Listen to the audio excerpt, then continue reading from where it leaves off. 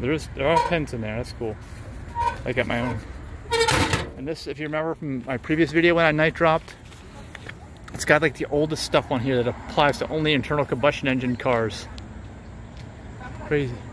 He seems like he's in an argument over there. I don't know.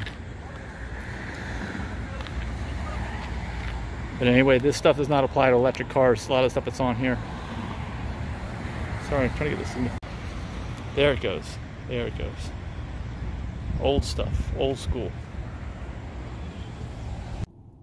Should I get my exhaust system checked? I want to. I've been hearing some rumbling noises. What do you think? I think I got a hole in my muffler. This thing is not like the focus right now. Yeah, check engine, or sorry, check exhaust system, engine tune-up, flush radiator. That's what, that's what I'm getting.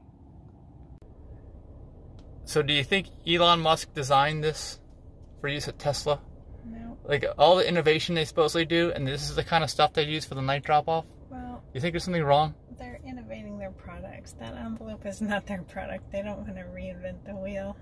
They just probably bought those on Amazon in a large quantity and it was cheaper than printing their own. Oh. There we go. Now it's focusing. Gosh, I, this camera's having a hard time focus. Okay, what do you think? Let me know in the comments. This, this is, is this is a disgrace. I think that Tesla uses this stuff. That's what I think. That's my opinion. Gosh, I can't get this thing to focus. There we go.